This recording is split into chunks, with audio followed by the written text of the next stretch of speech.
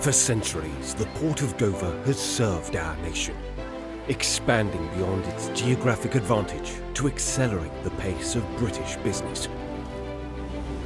As the UK embarks on a new course, Dover is adapting again, securing vital supply chains, embracing the opportunity of global trade, and driving sustainability to create the UK's first zero emissions logistics corridors.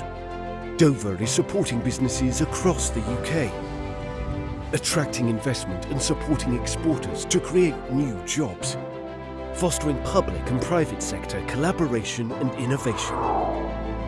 Dover will always be the key to the kingdom, the key that drives our economic success.